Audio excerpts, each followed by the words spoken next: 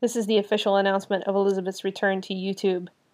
Look for her channel at Sans Sordino, which is without